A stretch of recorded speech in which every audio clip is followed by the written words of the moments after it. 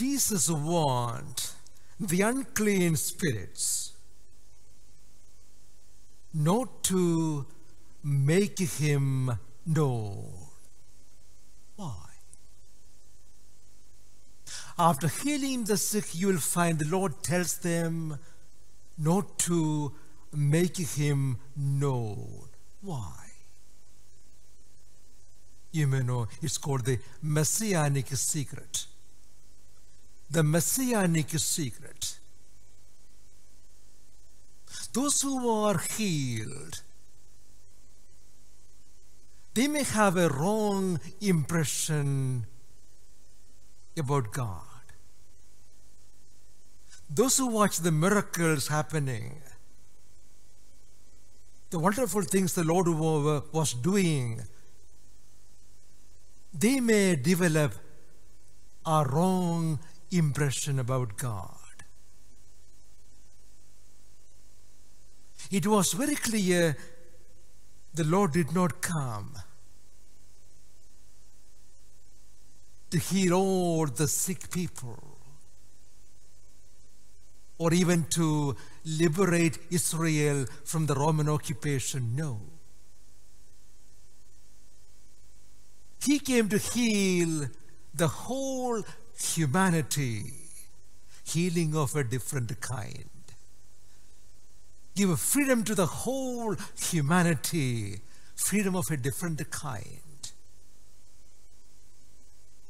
Today, the question is what is the kind of image you have, I have of God? A miracle worker? A Santa Claus God? Who will answer all my prayers? Let us look at a few stories in the Bible. They will tell us who our God is. What is the image of God in the story of Joseph in the Old Testament? The image of God in the story of Joseph. What is the image of God in the story of Job? The one who lost everything and one whose body was covered in sores. What is the image of God in the story of Job? What is the image of God in the story of those three Jewish men, Shadrach, Meshach, Abednego, in the furnace of Nebuchadnezzar? What is the image of God? In all this, one thing is clear God loves making gold out of clay. God loves making gold, pure gold, out of clay. He doesn't prevent anything.